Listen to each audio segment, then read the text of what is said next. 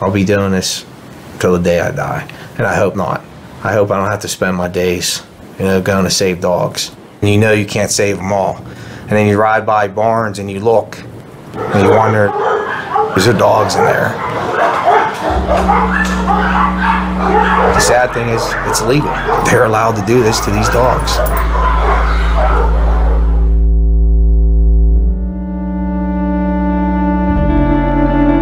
I mean, six, seven years, you know, they've been locked up in the cage outside. You see no protection from the weather, the heat, you know, the cold air, the rain, the snow, the thunder, nothing. They have no protection. But yet, as soon as we take the dog and you, it just wants to kiss you. And it just, you know, wants the affection. Look at you. Look. Look, it's okay. It's all right. Come here. You're okay. Fine.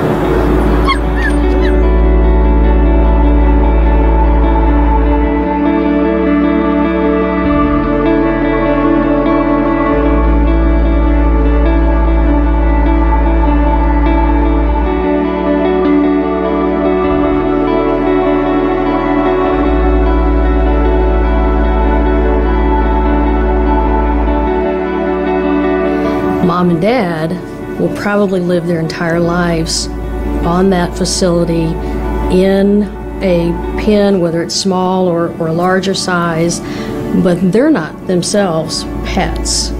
They are breeding stock. They, they typically don't come in the house and snuggle on the couch. They have no idea what life as a pet is about because they spend 24 7 in a cage. When you came into one of these puppy mills, you would just see one on top of another in these little chicken wire crates. You know how cramped it is when you're when you're flying. And I was thinking about it and I thought it must be like that for the puppy mill dogs that are in these cages, not being able to get up or move around. And I think that the, the 747s accommodate 400 people. And I thought it's just like taking 400 golden retrievers or labs or shepherds and putting them in a seat, strapping them in, and making them live there for eight years. You will typically smell the facility before you actually walk near the cages. And as soon as you can see the cages, I know it's going to be a bad situation when you have the above ground wire bottom cages because that sort of tells us that the person is trying to be very efficient. This is a business. People are in it for profit. For an initial outlay of a couple hundred bucks for a few breeding pairs, you can be selling puppies for $1,000 or more a piece. Um, if you breed at every heat cycle, which is not what you're supposed to do, but which many puppy millers do, uh, you could be making tens of thousands of dollars within a couple of years. They were housed in chicken coops. In fact, one dog broker said there's probably more dogs in chicken coops nowadays than there are chickens. They make money on dogs being born. They rarely see a vet. Um, the vets are expensive, can be expensive, and that would cut into their profits as far as selling the dogs. Um, it's not good. It's really not, not a good place for a dog to be.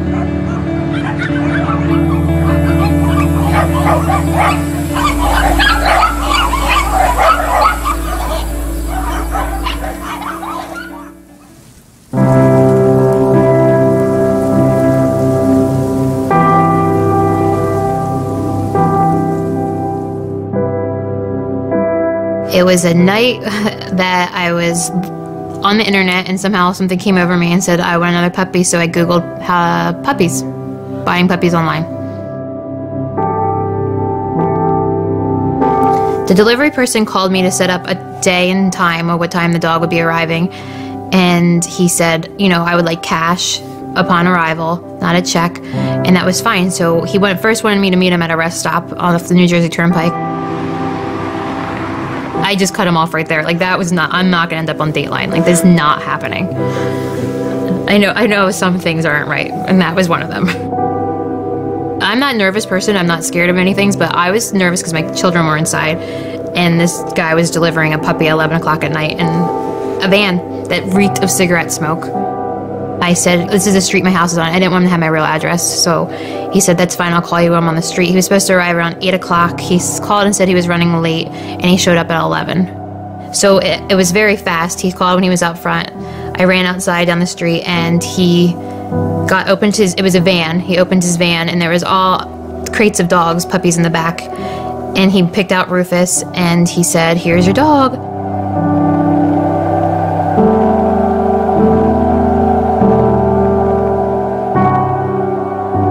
Two pieces of paper came with the dog that they looked like I could have printed off the computer. But that's I didn't know any better, so I just assumed it was fine. I brought the dog in and it was late, so I just put him I played with him for a little bit, but he was super tired and he just looked like he wanted to go to sleep. So I put his bed in his crate and he didn't cry, which was weird because when I had puppies before, they cried in their crate the first time. He didn't make a sound. I was like, this is the best dog ever. He doesn't even make noises. It's a perfect baby. And um, I woke up to a dog that was basically having seizures, going to the bathroom and throwing up. I thought he was gonna die. And it that like I you know it was, it's only 24 hours, but you bond and as a person you just feel super bad. For, it's a baby and you just want to help it. He starts making this horrific sound like he's yelping in pain out of nowhere, like just laying down, just making this terrible sound off and on. And I said, This isn't normal. And then he threw up and had diarrhea. And I said, I'm going to take him to our family vet.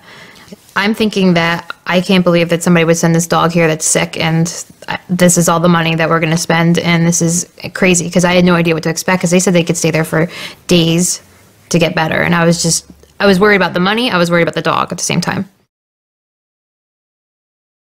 After spending 2 days at North Star Pets being treated for hypoglycemia, Rufus was able to return home.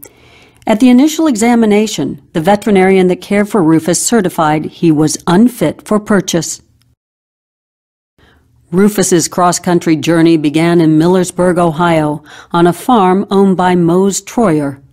This is how naive I am. After I buy the dog, after he's delivered, then I start Googling Mose Troyer. Then is when I start. And then I was like, what is wrong with you? Why wouldn't you?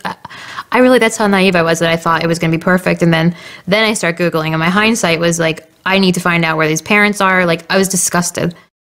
Less than two weeks before Nicole purchased Rufus online, Troyer's USDA license was canceled. Currently, no USDA or state commercial license is issued for this address. I felt like giving up a couple of times. I said, No one's calling me back. This is so frustrating. But then I kept thinking it wasn't about the money, it was the fact that this was a life that no one cared about were just like, oh, take the puppy that was six weeks old, five weeks old away from its mom and just shove it in a van with Creepster and then call it a day. Like, no one cared.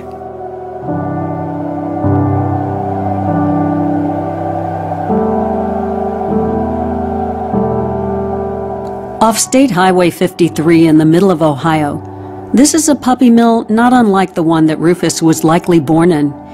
It's where his parents will remain until they're unable to produce the puppies and profits expected by the owner. There's no natural light, no human contact, except for the red pickup that stops by once a day to scatter food and fill water bowls, unregulated and under the radar.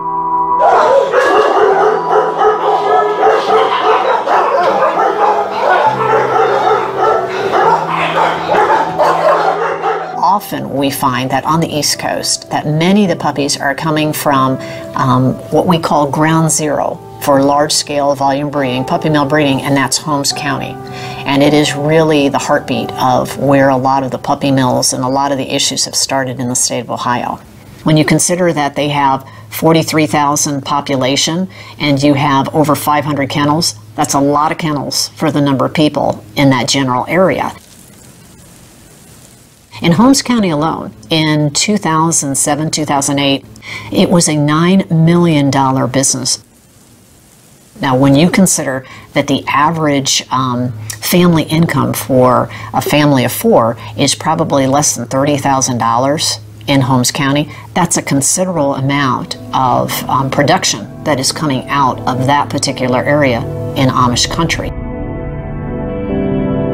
Rufus's journey to New Jersey is similar to the one thousands of puppies travel from Holmes County, Ohio.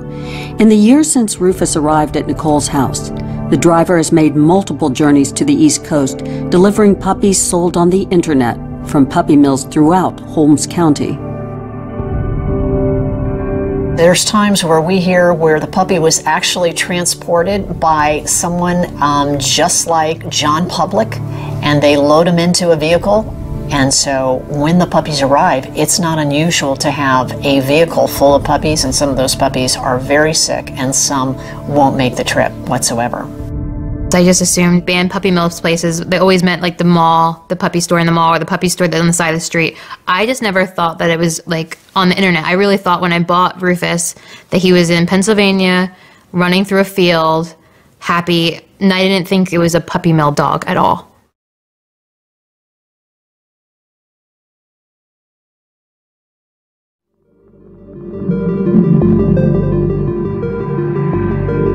Pennsylvania farmers began breeding dogs probably about 30 or so years ago. There were actually breeders in Missouri who came up to Pennsylvania specifically because of its large Amish and Mennonite farming communities here. We had one of the worst states for puppy mills, and we were called the puppy mill capital of the East, and that was primarily because Pennsylvania's number one industry is agriculture. The Amish and the Mennonites are, are more likely to view these animals as cash crops, uh, as agricultural products. We've heard that over and over again, and I believe that to be true. Not all Amish families and not all Mennonite families breed dogs, uh, but the large majority, the overwhelming majority of the people that we deal with, the breeders, are Amish or Mennonite. It was something that farm families could do between when you harvest in the fall and when you plant in the spring.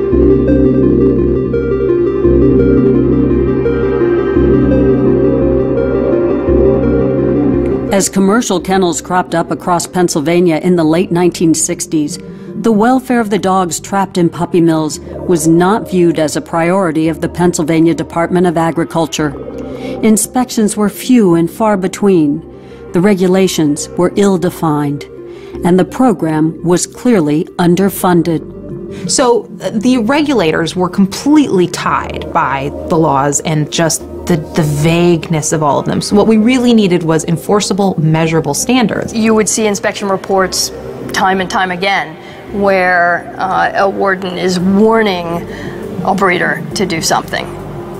And this didn't go on for like one or two inspections in a year's time. You're talking about years and years of warnings for, for many of the same offenses. There was so much opposition from within the industry itself that the regulations were just going nowhere, and it became very apparent that we had to do a legislative fix. Throughout the years, efforts to improve the lives of dogs in Pennsylvania puppy mills would ultimately die in the legislature at the hands of powerful lawmakers. It was not until a simple billboard was put up in Lancaster County that the general public began to learn of the problem. Our first billboard, Uh, we made it look like a postcard, and we had a family in a car, and they were all waving, and across the top in yellow script, just like a postcard, it said, Welcome to scenic Lancaster County, home to hundreds of puppy mills. And we received over 3,000 phone calls and emails in two days. And the majority of those phone calls came from people who lived in Lancaster County who were thanked us for finally doing something about what their neighbors were doing. I, I think the issue gained a lot of um, traction through the media, you know, more reporting on the issue. It became sort of something that was that was out front. It was no longer confined to, you know, what, what happened behind the barn doors. After witnessing the overwhelming response to their billboards in Pennsylvania, Main Line Animal Rescue placed a new billboard, this time near Oprah Winfrey's studio in Chicago. When we were on Oprah and uh, the aftermath, um, we watched it up here in the kennel, I realized that it really didn't matter uh, what the legislators wanted or what they didn't want because people started contacting us. And people were horrified, horrified by what was happening in Lancaster County, what was happening in Pennsylvania, what was happening in Missouri and Oklahoma and Nebraska. And they couldn't believe that animals were being treated this way and they wanted to do something about it. This was 100% a public effort. It was really because people were hearing about the plight of puppy mills on the news, on Oprah, uh, reading about it in their newspapers, going home and looking at the faces of these little pooches that are sharing their, you know, tables and beds for most of us, and saying, oh my gosh, what if that had been my dog? And it became very, very personal to a huge number of people who started picking up the phones and calling their legislators. Through this whole struggle, and it was a struggle and it was hard, it was very, very difficult I never lost sight of the fact that the people have the power to change things. And when the legislature realized that they did not want to go home in an election cycle and face the constituency wondering, why didn't you do something about this? The bill got legs. Uh, this was a two year long, easily two to three year long legislative battle in, in Pennsylvania. Many of the dogs that the law was, was pushed through, many of the, law, the dogs that we wanted to protect are now dead. So I'm hoping that it's the, the dogs, future dogs, the dogs that are in these places in the future are helped by what we've done. But most of the dogs, the majority of the dogs that we wanted to help are gone now. And they never got the relief that they deserved or that the law afforded.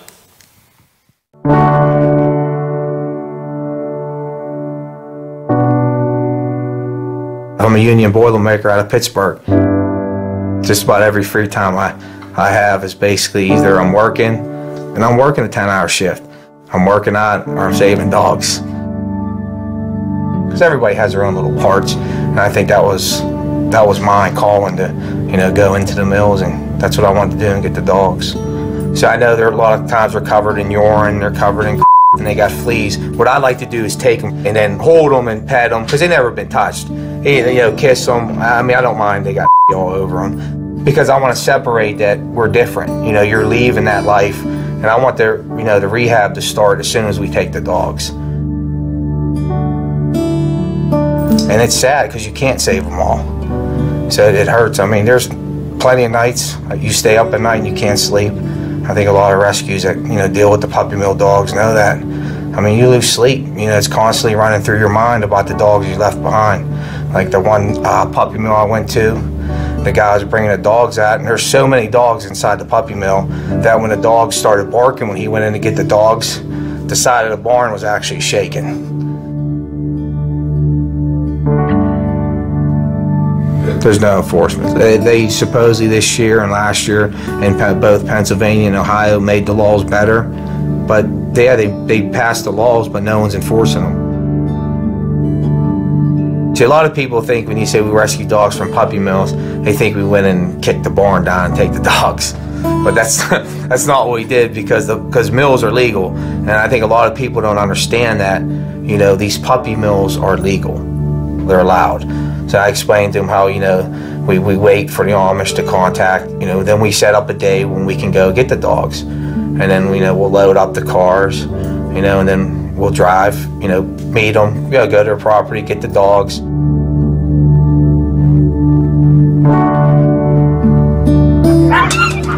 How many dogs have you got? Uh, I don't know much about the dogs.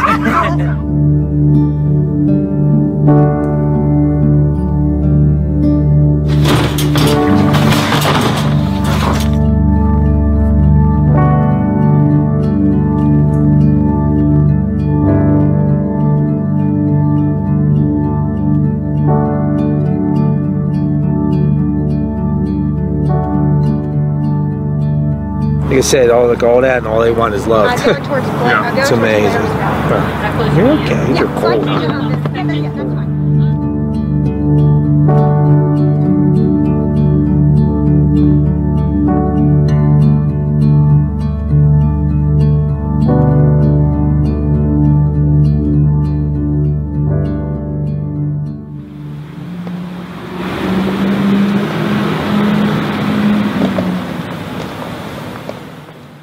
Yeah, my name is Eugene DePasquale, and I'm the Pennsylvania Auditor General.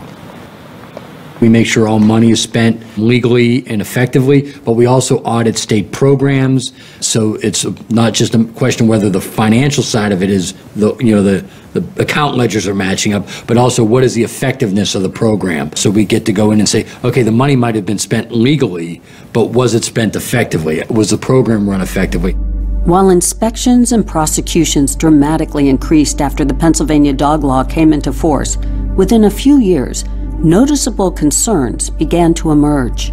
I started to receive reports confidentially from within the department, reaching out to me, dog wardens, administrators, um, people who had worked for the department and had left, veterinarians who were concerned that the new head of the Office of Dog Law had no idea what she was doing. So reviewing inspection reports in, in 2011 um, indicates that there were virtually no citations issued. Just like any other law, it's only as good as the enforcement of it. And early on in, in the law, there were some concerns that it wasn't being enforced properly, so hence the audit of the dog law program began. In a scathing report, Auditor General DePasquale found the dog law program, from its introduction in 2008 through 2012, showed an intentional lack of enforcement of the state's dog law and the commercial kennel canine health regulations. We weren't enforcing the law on the kennels, meaning the Department of Agriculture said this in, during the audit, that they weren't enforcing it because they knew the kennels weren't complying. And, and to say that again, they weren't enforcing it because they knew the kennels weren't complying. But the goal of the law is to get people not to do it. The goal of the dog law was not to fine kennels. It was to get kennels to improve the conditions in their facilities for for the animals. That's the goal of the program. We were getting the troops ready to really make a huge deal out of the lack of enforcement of this very popular law. And all of a sudden, it was a 180 in the department, and they uh, hired a director of enforcement who was one of the best dog wardens that we've ever seen. But here is the, the big, big issue. And it's not just this, it's anything we do. The people matter who are running the programs. And right now, I think the administration made significant strides into who is running the program. But the people that are actually running the program, sometimes you know, they, they're faceless bureaucrats to the general public, and I understand that. But the actual individual who's in charge matters. And it's important that governors, whether they be Democratic or Republican, they, they not just put people in because of political considerations, but also the qualifications of the individual. But I do think that that is the case now that you have top-notch professional there and that I think is a big reason why you're starting to see a turnaround in the program. While progress has been made, the challenges of regulating and inspecting licensed commercial breeders and finding unlicensed breeders in Pennsylvania continues. In the heart of Lancaster County, Millwood Kennel, aka Millwood Puppies, provides a prime example of the bureaucratic shell game played by some large scale breeders. David and Naomi Stoltzfus had been breeding dogs on their property in Lancaster County since the early 1990s, having obtained both a Pennsylvania license and a USDA commercial breeder's license. From 2003 onward, Pennsylvania inspection reports clearly indicate dogs were suffering in a facility that was not meeting even minimal welfare standards.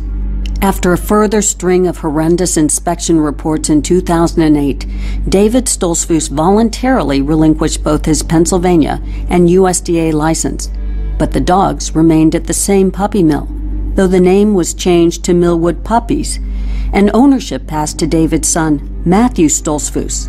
Matthew quickly obtained a USDA commercial breeder's license at the same address Immediately, the violations continued under the new license. When Millwood Puppies was inspected in October 2009, the violations were so severe that the Commonwealth of Pennsylvania brought multiple charges against Matthew for violations under the dog law. Before Pennsylvania District Judge Isaac Stoltzfus, all charges against Matthew were summarily withdrawn, and all cases closed in 2010. At no time were the dogs removed from the facility by either state or federal authorities. Around this time, Matthew found a new, very lucrative avenue to sell his puppies the internet. Since 2010, it's estimated that Matthew has sold over 3,000 puppies online, ranging from 300 to $2,800 each. In 2013 alone, Millwood Puppies sold 472 dogs, more than a dog a day. During this period, Matthew maintained a Pennsylvania kennel license, but in January 2014, he applied for a new USDA commercial breeder's license for Millwood Puppies LLC. This was the third USDA commercial breeder's license and the second Pennsylvania license issued for this one address in the past eight years.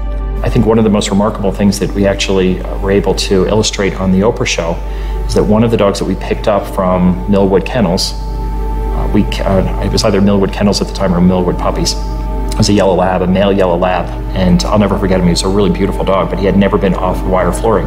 So beautiful, beautiful yellow lab. And the Amish breeder. Matthew Stoltzfus dragged the dog down the hill. We put picked the dog up and put the dog in the van. When we put the dog down on the solid flooring in the lobby, he started to walk like he had never been he had never been on solid flooring again, and he started walking up the wall.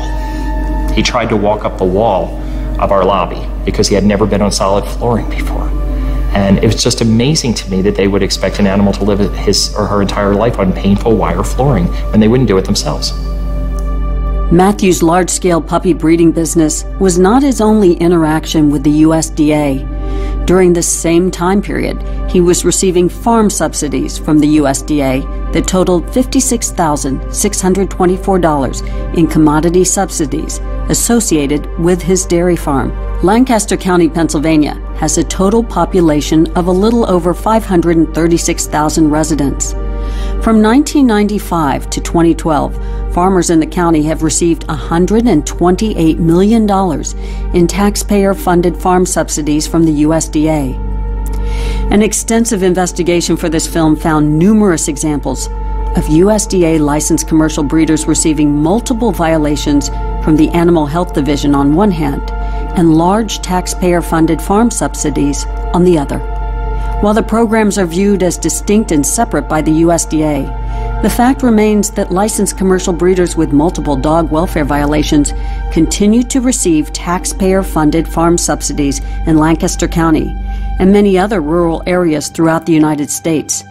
These commercial breeders are exploiting a federal agency by receiving a taxpayer funded handout while simultaneously receiving major violations for failing the dogs in their care.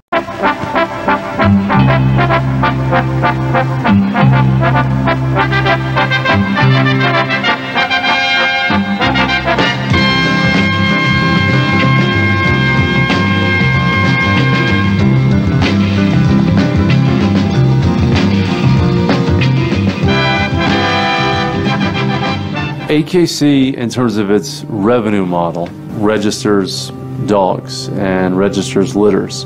So it's involved in a transactional relationship with those breeders. And obviously, the ones producing the most dogs are the largest scale breeders. So, why is it going to crack down on those large scale breeders and sacrifice the revenue from a rigorous program that stops people from confining animals, denying them vet care, exposing them to extremes of heat and cold, if they're going to lose revenue. The American Kennel Club prides itself on being the only purebred registry in the United States with an ongoing routine kennel inspection program with a dedicated team of field inspectors. The AKC says that it inspects kennels, but they don't make any of those inspection records available. Uh, they say that they've got rigorous standards, but they really don't announce what those standards are in real terms. Uh, they say that they kick people out, but we don't really have a comprehensive record of when they're doing that or what the consequences are. I mean, even if they're kicked out, they can still keep breeding and they can still keep operating. So, what's the value of their inspections program? Their enforcement efforts, for all we know, are completely meaningless we don't know what they even inspect for when they go into these facilities because they don't make their inspection records public. Quite frankly, if they were meaningful inspections, there would be no reason not to make them public. While the AKC boasts of a rigorous inspection program, in 2011, only 1.5 million of their $59 million in revenue was spent to employ just nine inspectors across the entire United States. The AKC is a group that that uh, says it's the dog's champion, uh, but in practical terms is consistently leading the fight against efforts to establish humane dog breeding standards in the states and at the federal level. Over 5,000 kennel inspections last year the American Kennel Club. We make all this possible because you make us possible. Register your dog with the only U.S. registry that matters. Visit akc.org. And wherever we advance that sort of legislation, Not radical, not far reaching, just basic, fundamental, anything that a pet owner would think is a minimal standard of care. The AKC opposes it. Since 2009, the AKC has opposed over a hundred different bills, regulations, or ordinances that protect dogs. In 2012 alone, the AKC opposed a Nebraska state bill that would require commercial breeders to have regular on site visits by a veterinarian, a Louisiana state bill that would prohibit all dog owners from stacking crates, a Rhode Island state bill that the AKC deemed dangerous that would make it unlawful for dog owners to keep a dog confined in a pen, cage, or other shelter for more than 14 hours. A proposed ordinance in Shelby County, Tennessee, that would make it a violation to leave a companion animal unattended in a vehicle for more than one hour when the temperature is above 70 degrees or below 35 degrees. Why is the American Kennel Club, the dog's best friend, opposing this legislation that says that once a year you've got to have a vet examine these dogs? Or you can't breed them every single heat cycle, or you can't have more than 50 breeding females at an operation. Why would a group oppose that? Well, they oppose it because they're making money from those large scale operations. While the public does not have access to AKC inspection reports, many pet stores across the United States emphasize to their potential customers that their facilities are AKC approved and inspected. One such company is Petland, the largest chain of pet stores selling puppies in the United States. While most Petlands are independently owned and operated, the company's relationship with the AKC is a central focus in nearly every store. It's not unusual to see a dog that's AKC registered in a pet store. The AKC could be targeting this major distribution channel saying, we are not going to endorse pet stores if we see our dogs in those stores because we don't feel that is a good means by which a dog is being raised. Um, and unfortunately, have not taken that position. Where do you guys get the dogs from? Uh, they all come from certified breeders so everyone always talks about puppy mills, and honestly, those really don't even exist anymore. Anything that's not AKC certified is basically people don't trust as much. I actually bought my first dog from Petland. In my head, I was saving that dog from the cage only because it was way too big for the small cage it was in. There was poop and he just looked sick. And I went back to visit and visit and visit. Well, they're just very pushy. If you've ever been in a Petland, they want you to buy the dog no matter what. And, you know, they give you all these options. I would visit the dog. It just started me looking through the cage. And they're like, oh, do you want to go to our puppy playroom?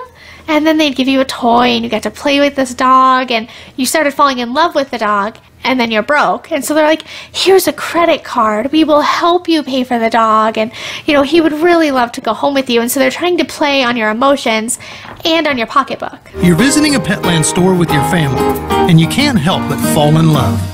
You've found that perfect pet for your family, and now maybe you're asking yourself, where did this puppy come from? Let's take a look at the journey Petland puppies make before arriving at our store. While Petland maintains that it does not purchase from substandard breeders, there's no doubt that the vast majority of puppies sold in their stores come from large scale commercial kennels, where the parents of those puppies will spend their whole lives in a cage. In 2009, the Humane Society of the United States released an exhaustive investigation into shipments over three months of more than 15,000 puppies across the country. The report determined that 95% of the puppies in Petland stores come from large scale commercial kennels. I work at a gym right next to a Petland, and I see it all the time. And I even stopped and said, you know, even to a young couple, you know, with kids, hey, uh, before, do me a favor before you go in there, you know, Google puppy mills. Oh, we know what a puppy mill is. I said, well, why are you going in there buying a dog? What kind of, I know rescues that have puppies right now. What are you looking for? A lot of the dogs that are purchased in pet stores, we uh, we end up with them because the families can't afford their medical care. Uh, they have some uh, birth defect or some chronic problem, or uh, worms, or parvo, or um, anything that uh, that these animals can pick up in the actual mill, and uh, they always seem to be in a weakened state. Always. Most of the puppies that are coming from these large scale factory farming kind of operations are being sold in pet stores. So when you go into a pet store and you see that beautiful little puppy that's jumping out and really wants the attention from you, most people have no idea that the mother and father are back somewhere in a factory farm type of setting where it can be um, horrendous. It's not just Petland franchises that get the vast majority of their inventory from the primary states for puppy mills. Independent pet stores choose to seek out these same states. A stark example of this supply chain leads directly from Holmes County, Ohio, to a single pet store in Paterson, New Jersey, D&G Petite Pups. Inspection reports obtained by Ohio voters for companion animals show that in 2012, over 300 puppies from puppy mills in Holmes County were sold wholesale to D&G. Only one reason would seemingly compel the owner of D&G to seek out breeders located over 7 hours away. The price. If a breeder is simply selling to a pet shop, that's not about placing that animal with a family for the rest of their life. That's really about the money.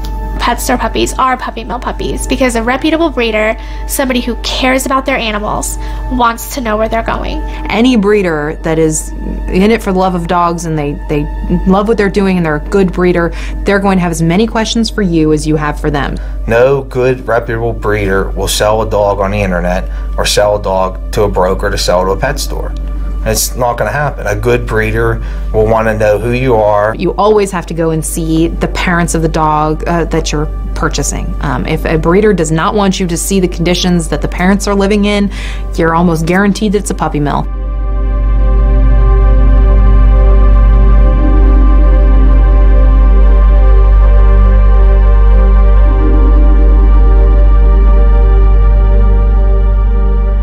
This is largely a marketing uh, sort of enterprise where people can register the litters, the puppies, and you get the halo effect that this is an AKC registered dog or litter, when in reality it has no practical meaning when it comes to animal welfare. The AKC papers mean absolutely nothing. You know, and when you come push comes to shove, AKC, when they're backed into a corner, will admit it has nothing to do with humaneness or the quality of the dog. It only means who the mother and the father is. They're in favor of breeding dogs, and the more dogs that are bred, the more money they make if those dogs are registered with the AKC. For years and years and years, in fact, even to this day, registration income from registration fees on puppies are subsidizing the dog shows that the AKC puts on because the registration fees for dog shows don't meet the amount of money for the expenses of putting them on. So historically they have always subsidized their dog shows through registry fees. So this is why they're going out seeking that puppy mill money. And that's what I always say. When people go into the Westminster Dog Club show, go in there knowing that this show is being subsidized by the cruelty of puppy mills because the AKC will not stop papering dogs from commercial dog breeders. And they oppose legislation when you go to improve the standards of care. By 2010, Missouri had an estimated 3,000 commercial dog breeders and was the largest supplier of puppies to pet stores across the country. The nearly 1,600 breeders with a USDA license was more than the next three states combined. In the hopes of improving the lives of dogs living in Missouri puppy mills, national and state animal welfare organizations focused on a ballot initiative that would later become known as Proposition B. Over 190,000 signatures from Missouri residents were collected, and the measure made it to the ballot in the 2010 election. Prop B was something that was in the works for many years because Missouri is the puppy mill capital of the United States. Prop B simply sought to impose humane breeding standards and limits on the size of the puppy mills. You know, when I started out campaigning for Prop B, I had all this different literature and pictures of puppy mills and things like that. After two weeks, I just forgot all that literature. All I brought with me was the copy of Prop B. Because it wasn't that people wanted to support puppy mills or cruelty to dogs, it was just this hysteria that it affected other things. It was a campaign of fear and misinformation. Fear that Prop B was going to mysteriously morph into a ban on all rearing of animals in agriculture. You know, they said that this would affect farm animals.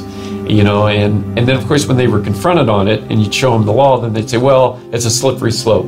But they would still continue to go into rural areas and convince everybody that this was going to shut down the family farm and it just created mass hysteria and it made a really difficult campaign. It didn't deal with cattle, it didn't deal with pigs, it didn't deal with chickens, it didn't deal with any other species. The language was explicit, and anyone who's a first year law student could say with definitive precision that it just applied to dogs. It's basically a way to um, one of the dominoes and what I call the line of dominoes out here uh, in eliminating all of domesticated animals. Uh, you know, dogs, cats. Uh, then you go into the livestock arena, uh, horses, and so forth. And in a ballot measure campaign, you don't necessarily need to convince people that your position is right.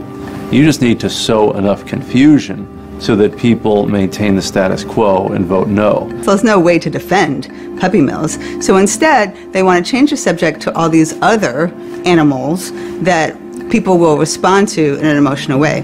This isn't really about puppies. This is about your chicken and your beef and your pork, and this group wants to take those off your dinner plate, right? It's about emotional uh, triggers that they're gonna the, they're gonna press those buttons to get people to respond emotionally. Well, it's basically a form of lying. I mean, let's just cut to the chase, right? This proposition was about dogs, but industry wants you to think it's about all these other animals because that'll scare the hell out of you.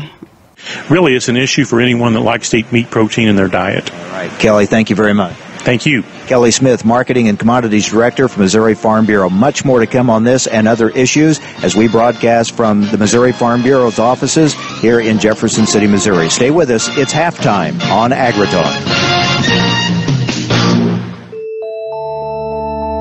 Interestingly, my wife and I had made a plan before we settled. We put on a piece of paper what our dream of a farm was. And um, after a long search, I was showed this farm, and it matched exactly what we had written down. So that's why we're here. We lived our life here pretty much, you know, happily. Um, with our, we raised our family, we raised our kids. We felt very comfortable here. Um, we didn't feel threatened at all, you know. And I mean, I would have never at that time suggested to you that clean air was a vital, important thing in my life they were going to raise hogs. Okay? And at the time, I did not know how many hogs they were going to raise. Okay? And it turned out that now they raise 80,000 hogs uh, three miles north of my house. The Farmland Foods facility in Milan, Missouri is owned by Smithfield Foods, the largest hog and pork processor in the world, with revenues exceeding $13 billion in 2013. The operation north of me is called Green Hills. There isn't a single pig in there that ever sees the Green Hills. There isn't a single pig down there that ever sees the valley. Okay? So these are wonderful names, but in this are these factory buildings where these hogs are housed in these big barns with little fresh air, with no sunlight, with little movement, with no grass, no nothing. You hear the name Valley View and you think, oh, little piggy running on green grass, you know, just kind of smooching out there, laying in the sun. You don't see that there.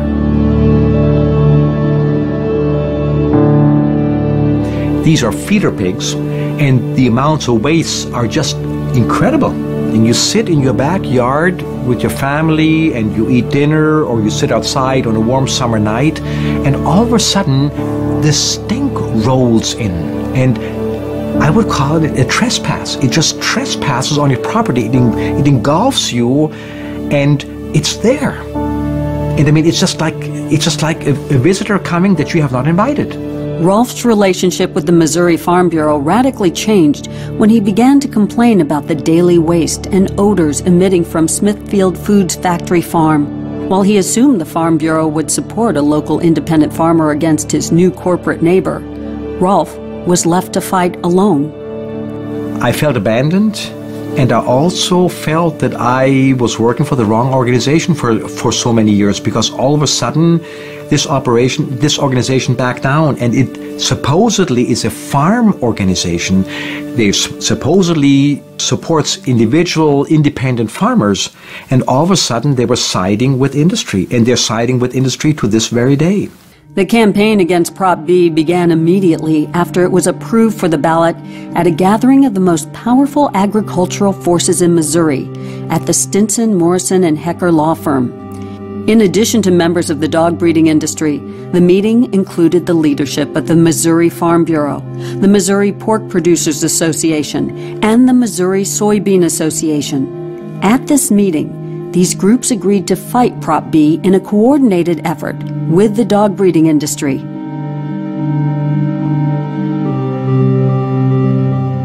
Two front groups emerged from the meeting, one which would eventually be called Missouri Farmers Care and the Alliance for Truth. While these front groups seemed to have sprung out of thin air, it was actually a highly coordinated effort financed largely by corporate agriculture. Nearly 82% of total contributions to Missouri Farmers Care originated from three corporate agriculture trade groups and their respective political action committees. The Missouri Farm Bureau, the Missouri Pork Producers, and the Missouri Soybean Association while the Missouri Farmers Care campaign highlighted the positive role of Missouri farmers in society, the Alliance for Truth was focused on misrepresenting the clear language in Prop B. The majority of the funding for the Alliance for Truth was funneled through Missouri Farmers Care by the same agricultural trade groups. The trade groups involved represent the interests of their member corporations. In Missouri, these corporations include some of the largest agribusinesses in the United States. Monsanto, Tyson, Cargill, and Smithfield Foods. While these trade groups used their vast financial resources opposing Prop B, the corporations that ultimately provided the majority of the funding for the campaign remained silent. Simply put, without the financial support of corporate agriculture, the puppy mills of Missouri would not have had the ability to mount the Alliance for Truth or Missouri Farmers Care, which were largely responsible for the opposition to Proposition B. Alliance for Truth, that could be for anything, you know, but they can't call themselves, you know, front group in favor of hurting dogs, right? So they have to come up with some other word to just totally distract you from the issue at hand. It's not about the dogs. It's about liberalism, growth of government, intrusion into your life. Missouri has a proud tradition of dog breeding for hunting, home companionship, and just best friends. Enforce existing law against animal abuse, but vote no to the big government liberalism of Proposition B. Paid for by Alliance for Truth. Mark Patterson, Treasurer. I mean, they wouldn't be funding it if the goals weren't the same. I mean, Alliance for Truth is literally just a front. So there has been a tremendous amount, a shocking amount of organized opposition to efforts to increase the standards of care for dogs bred in commercial breeding facilities. And most of that opposition, quite frankly, is coming from huge agricultural groups and industries. These are groups that have nothing to do with dogs. All you have to do is look at who's funding these front groups to see who's really benefiting from them. It's not the individual farmers and ranchers who, you know, may believe in some of the uh, messaging that these groups are putting forward, but it's really the major players in big agribusiness who are benefiting. And it's the industry wide defense that's going on. It's not to protect the, far, the poor rancher. I mean, those guys are getting screwed. I have distinct interests in the future of this farm and the future of this community. A corporation, their interest is making money. Their interest is not in the community. Their interest is not what is being left behind. Community interest is zero. Prop B was very specific. It was a bill that addressed commercial breeding of dogs, not chickens, not cows, not pigs. But that's what the opposition said. That's the misinformation that they gave to people in the state of Missouri to scare people. It was purely fear tactics on their part, and it really ended up being at the expense of the thousands of dogs that suffer on a daily basis in the state of Missouri. Every signature that put Prop B on the ballot was signed by a Missouri resident. Every vote that passed Prop B into law was passed by a Missouri resident. Missourians cared, and, and this was not an out of state, you know, they keep saying, oh, it was out of state interest, that, you know, they might have provided the money so we could get the word out, but they didn't go to the polls, obviously. It was Missouri residents who voted for this. They're reporting 96.8% uh, in, and what we know is out there. We're officially declaring victory.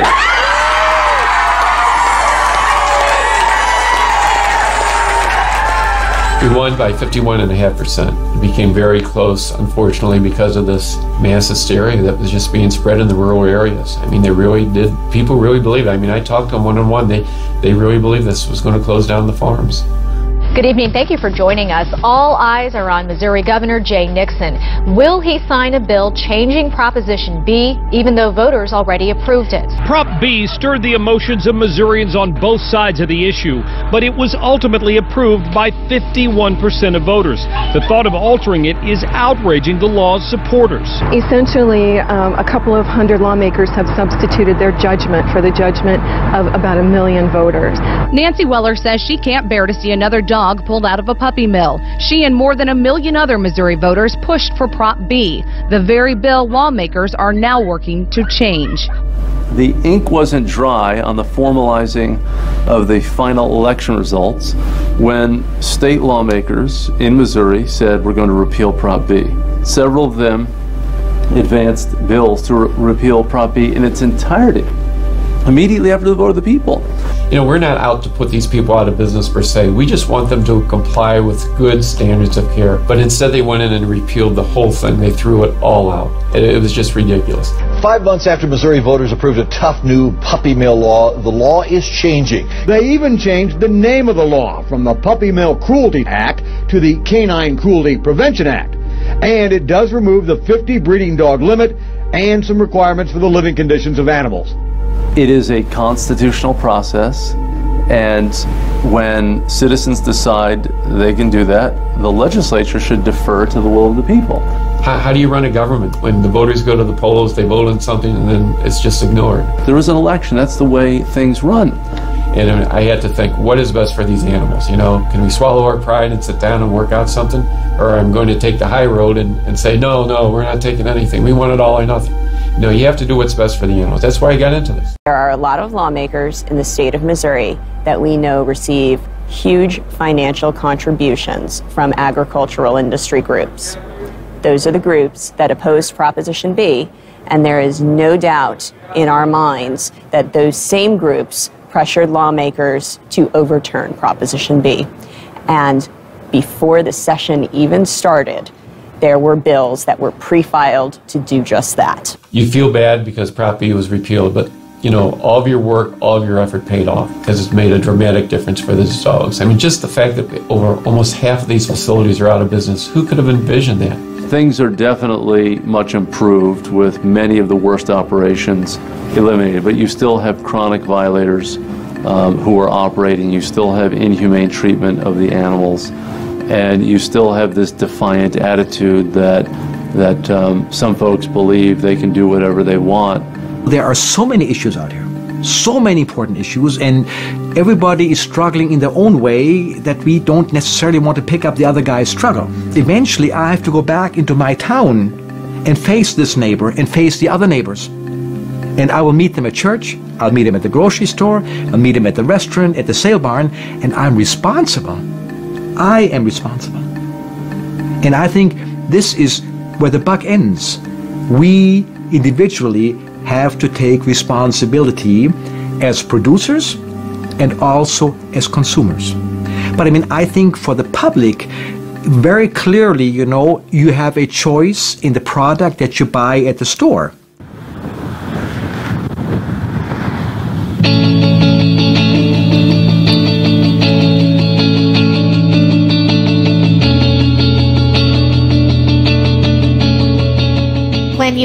Problem in your own backyard, if you're like me, you're going to try to fix it. I felt more like a hypocrite where you can't defend the rights of all dogs if you're going to ignore the problem down the street. At first, it was I wanted to educate people who had no idea. like I didn't know. And so I knew that if, if somehow I was educated by one story, then other people would be. The protest started Black Friday of 2011, and the reason we did that is because that's when people start buying Christmas puppies, start placing orders for Christmas puppies, and we wanted that to stop. So when they first started, we were there open to close every single Saturday. That was a very, very long and cold winter. We always protest peacefully. We always hold our signs. Our, we always have our backup. I keep a folder with all of the information. I have handouts for people that are very factual, and we don't tell any lies. That's the biggest thing.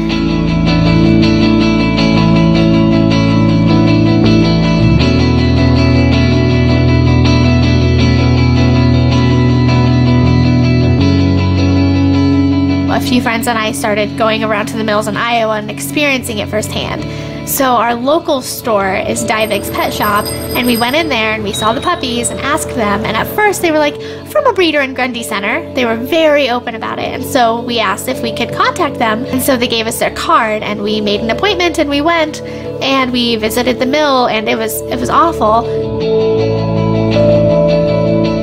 Well, in Iowa in general, we have the negative temperatures and the very, very hot temperatures. And the dogs are forced to live in that 24 7. And so our protests are every single weekend, no matter what the weather. Today, we are very thankful to be in positive temperatures. Uh, when I left my house this morning with the wind chill, it was negative 14. This is cold. It's not one of our coldest. It is average winter Iowa weather. Usually our protests are between two people and 10 people. It really just depends on the weather and what we all have going on. It is a priority to everybody. Um, we have several people that travel from out of town to get here. Two years is a long time to think that we've been in front of here. This is where we hang out. Young people hang out in front of pet stores on Saturdays.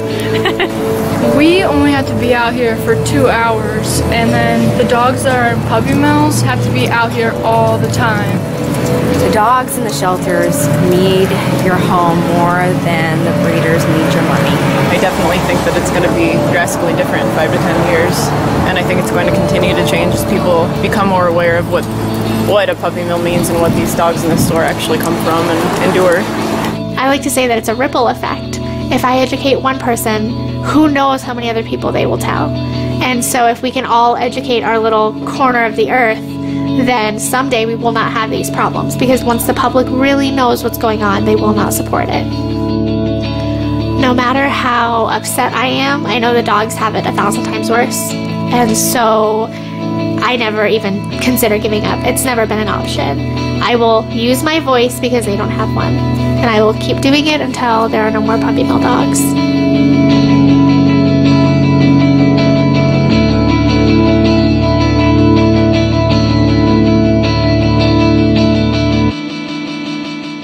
Until recent changes, the only federal regulations governing commercial dog breeding date back to the passing of the Animal Welfare Act, or AWA, in 1966. The AWA defined a commercial dog breeder as one who maintains four or more breeding female dogs and sells the offspring into wholesale channels. Any breeder or retail pet store engaged in the direct sale of dogs to the public was exempt from the AWA. Let me clarify that a little bit. Uh, the Animal Welfare Act only requires that we do annual inspections on research facilities. So there's no requirement for the other entities that we regulate. Uh, but every facility that's either licensed or registered with us is assigned a minimum inspection frequency. We have a risk-based inspection system. So based on the risk of finding noncompliance, risk of animal welfare, welfare concerns, the facility may be assigned a frequency of, of once a year, uh, twice a year, three times a year, whatever that system assigns to it. The AWA does not require yearly vet checkups, access to exercise, socialization, or protections against extreme heat or cold, and allows both wire flooring and stackable cages. Well, the Animal Welfare Act is passed and it requires humane standards of care for dogs raised in commercial breeding establishments. And it requires that the Department of Agriculture go out and inspect these facilities and make sure that they're complying with these regulations. I always refer to the regulations that we have today with the USDA as survival standards. If you comply with these standards of care, the dogs will probably live. But is it humane? No. Right now, in the USDA regulations, a dog only requires six inches of living space bigger than the dog itself. And you're talking about a dog that's living in that space for its entire life. And the Department of Agriculture really is there to promote American agriculture. It's not an impartial sort of entity uh, that is neutrally overseeing the laws.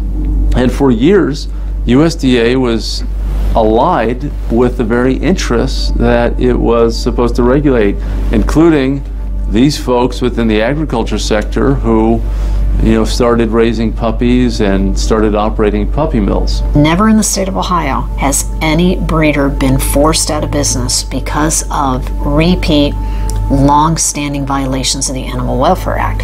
If they choose to no longer be USDA licensed, it's because they chose not to renew their license, not because inspectors came in um, to actually revoke that license. I never heard of an, a regulator coming to Pennsylvania. No one was getting shut down. The feeling of the industry was very, we don't have to worry about it. So frankly, their doors were pretty open. So often, if a breeder's in violation of the Animal Welfare Act, they get a slap on the hands. And when they get the slap on the hands, most often it is months following the violation.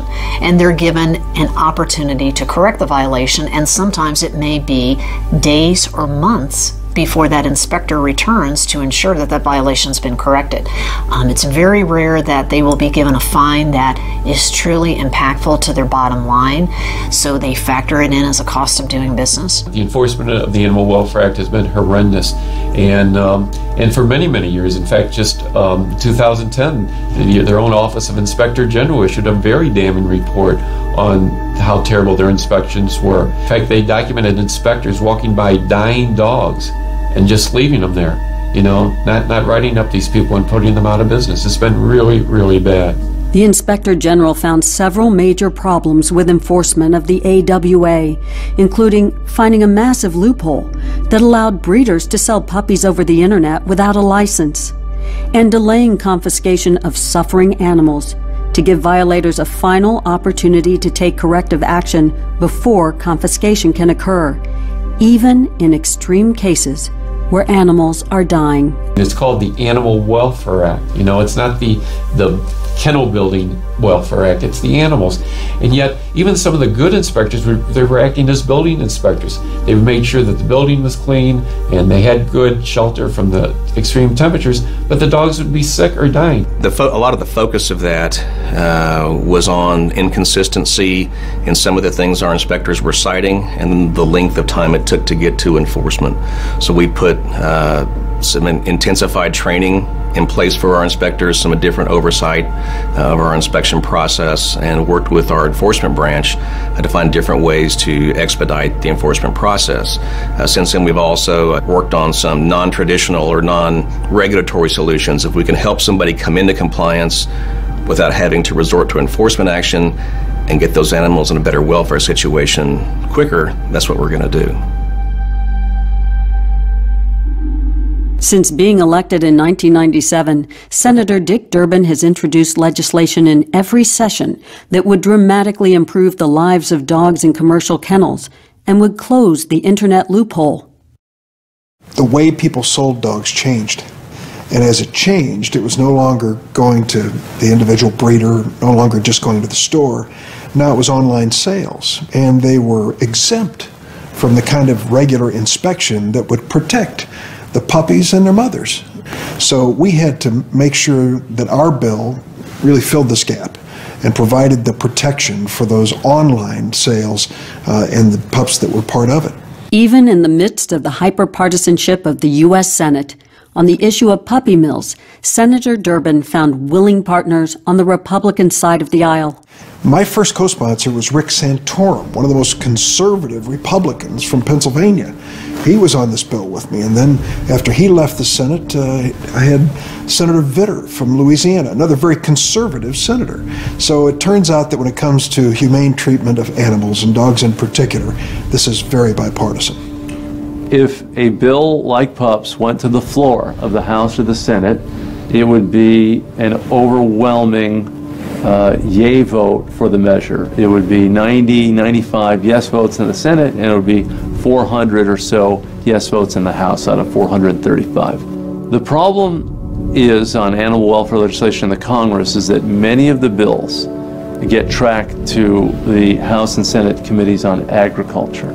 And those committees are populated by the most rural lawmakers aligned with the biggest agribusiness interests in the United States.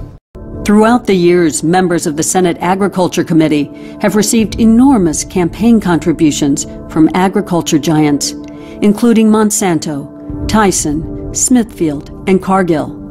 Besides these direct contributions, each of these corporations spent millions of dollars each year lobbying Congress. Seemingly afraid of how a theoretical slippery slope protecting dogs in puppy mills could hurt their operations, corporate agriculture sided with commercial breeders.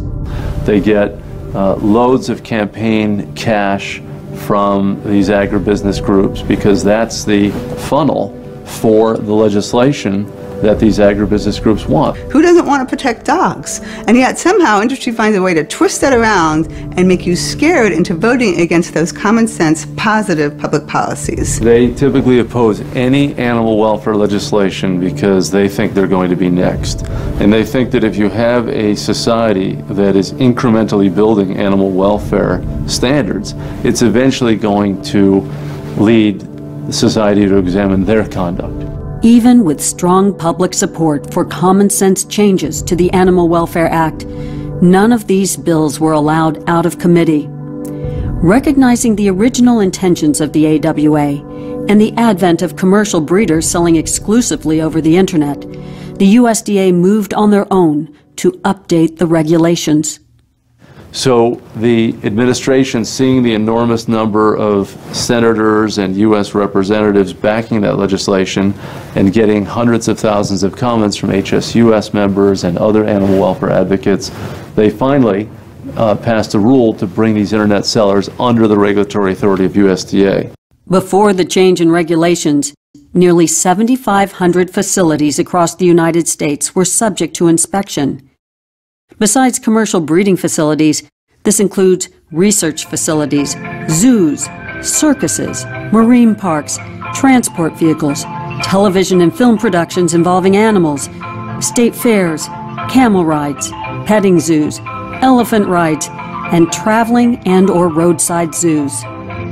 In 2013, 115 USDA inspectors conducted between 10 and 11,000 inspections on these various facilities.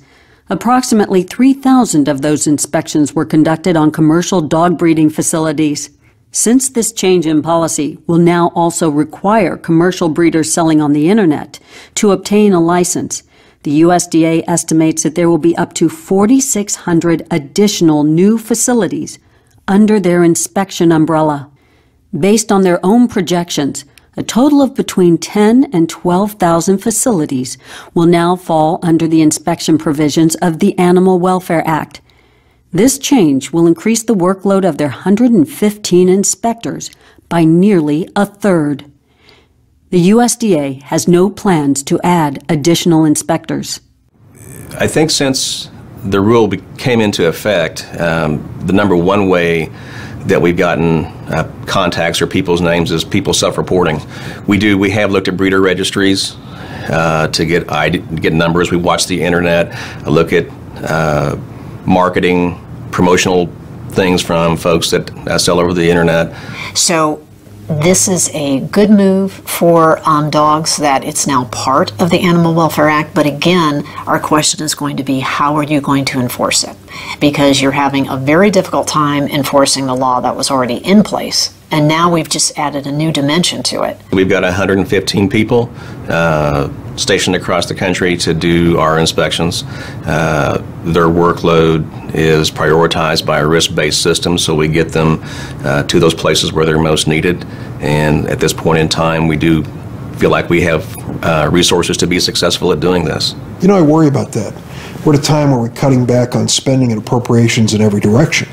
Uh, and they say they have enough to get started, but I'm going to keep an eye on it. I've even documented USDA inspectors who had their own puppy mill themselves. I documented supervisors of inspectors who were out working as roofers during the day when they were supposed to be out checking on their inspectors. I mean, the enforcement was absolutely atrocious and has been since the inception of the Act. And it was just recently, in the last couple years, that USDA has really turned around and started to enforce the law that's been on the books since 1970. We're seeing a closing of this loophole that allowed internet sellers. Um, and we just have to continue now uh, with our efforts to educate the public that the best place to get uh, animals is a shelter or a rescue group or a responsible breeder uh, who is really treating the mother dog uh, like a pet and not a breeding machine. Usually have a number. So he actually has a tattoo on his ear because he was auctioned, mm-hmm. and that His might number. have been his num- that might have been his name. Once we got him, he was shaking a lot because he didn't know what to do. He was trapped in this tiny little wired cage.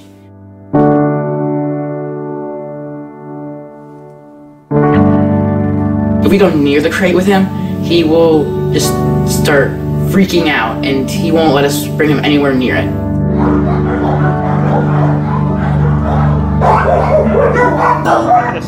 Adorable baby. Puppy mill, puppy mill. Pennsylvania SPCA. The little one, the little Pomeranian's a puppy mill. This dog is Pennsylvania SPCA. And then the little dog out there is puppy mill as well. It's a nice mix.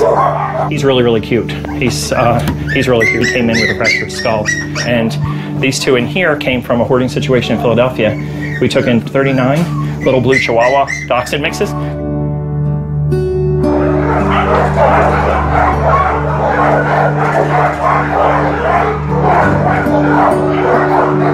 The dog was probably about nine months old, eight, nine months old, and the dog was so full of joy and just wanted to get out and run around. And the dog was down on its elbows and it was playing and, and it was in a rabbit hutch standing on wire, but it desperately wanted to get out. And I, can we take this dog? No, I just got the dog. We're breeding the dog. I'm just starting to breed her. So this was years ago. And then every time we went back, I would see this dog, and the dog was getting older and older, and he didn't want her anymore because she wasn't a good breeder. And I was looking at her, and her eyes were dead. And within, I would say, about a month, we, she started to come around, and I could see the dog that I remembered from before. But it's a shame that she had to go through all that. You know, her entire life just consisted of this misery.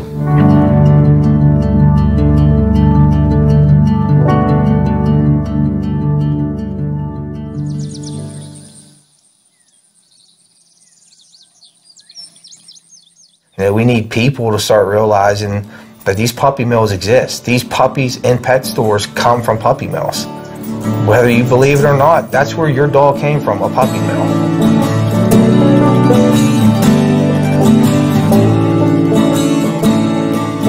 The thing that needs to be across to them is they're not rescuing or saving a puppy by, by buying that dog. What they're doing is they're sentencing the mother of that dog to a lifetime of misery in a puppy mill. The general public doesn't stop buying puppies. It's not going to change. It's, it's just, it's not going to stop. I'll be doing this till the day I die, and I hope not. I hope, I hope I don't have to spend my days, you know, going to save dogs. We Americans are treating dogs like members of the family. We allow them into our beds to sleep at night. We spend, you know, money on them. We give them life-saving veterinary care. A society that values dogs is not a society that's going to tolerate this abuse of dogs on puppy mills. Until the public is willing to forego the purchase of a puppy on the internet or in pet stores, no regulation will end the suffering of thousands of breeding dogs trapped in commercial mills. Across the United States at humane societies, rescues, and pounds, millions of dogs are awaiting the chance to join a family. If the general public decides to adopt and not shop, the factory farming of puppies would end. The power really does lie in the people. What we have as a movement is a million households who care about animals and who are willing to pick up the phone. And being able to tap that power, that is what should make any puppy miller terrified. The other side has a much more difficult task. They've got to convince people that keeping dogs in confinement for their entire lives, denying them vet care, exposing them to extremes of heat and cold is an acceptable way to treat dogs. These are elected officials and they work for us and we're going to make sure they work for us. Um, we know we're up against a lot of corruption and consumer fraud and animal cruelty, but I think it's every time you educate that one person, that could be the next person who makes a difference at the state house or at the local level or even at the federal level. That's what keeps me going. Um, I do think that it's really important that people, if they see something going on, especially any kind of injustice, they should bring it to people's attention. You know, people have to know what's going on out there, and um, they just do. Otherwise, change is not possible. 20 years from now, we'd all like to look back, and we know it's going to happen. We're going to look back and we're going to say, thank God we don't have puppy mills anymore. I can't believe the way we allowed people to treat these dogs.